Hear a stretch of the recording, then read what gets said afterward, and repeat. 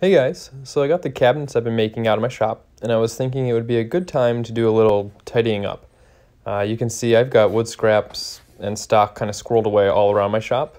Um, that's my plywood, and that's a lot of like the softer woods like pine, and sometimes there's some, poplar and small pieces of oak in there. Some baseboard I've painted I got to put up. Um, even got some long cherry pieces up there in the rafters, and this this is where I kind of keep all my good stock um, that I plan on using on a regular basis. But this is my burn bin, and it's overflowing, and I figured it'd be a good time to get this out. So I'll show you how I actually can get in and out of my shop, um, if not going through my house. My shop's about halfway underground in our basement, and that out there by the, um, actually there's a safety cone, that's where our fire pit is.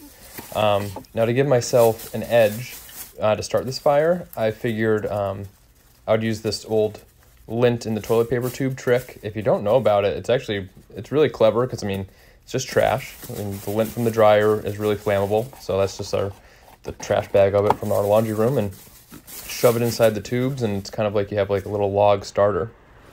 Now we have a lot of snow, and I just kind of dumped some of this wood on top, and the wood is it's gonna want to burn. It is dry, a lot of thin pieces, and some of it has like polyurethane and stuff on it.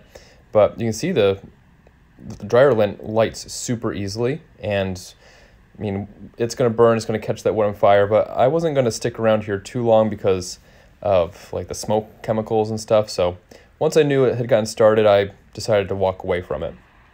Some of my favorite woodworking is using up scraps. So if wood has made its way into this bin, it's either really small or pretty junky.